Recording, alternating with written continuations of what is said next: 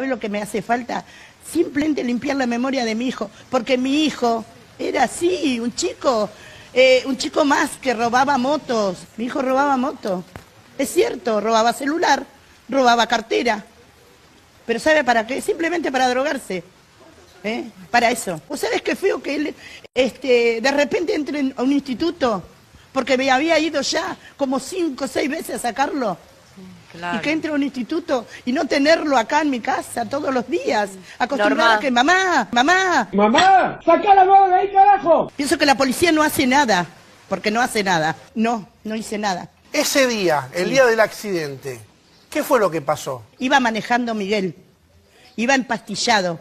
No sabemos si él se durmió, no sabemos si, si estaba, como dicen ellos, ¿no? Fantasmeado, fantasmeado, fantasmeado. Sí sé que ellos iban en la moto y que el que manejaba era Miguel. Dobló en una esquina, fantasmeado, pasaron unas chicas, ellos le gritaron un piropo. En ese momento chocaron el camión.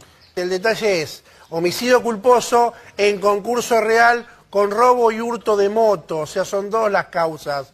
Robo y hurto de moto es el otro. Eso es lo que dice lo que dice la policía, sí, la justicia. No, nada que ver.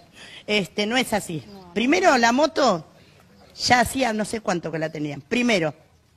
Primero. Una, perdón, eh, Norma, bueno, a ver, Norma, la moto tenía pedido de secuestro del día 24 de septiembre, sí, sí, radicaron la denuncia en la comisaría sí, es verdad.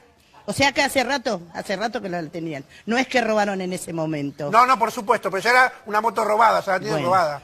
Las cosas, las cosas por su nombre. La moto ya la tenían. Las cosas por su nombre. La moto ya la tenían. Arielito no, no era el que pero manejaba. era robada, Norma, O sea que perdón, era homicidio ¿eh? culposo de nada.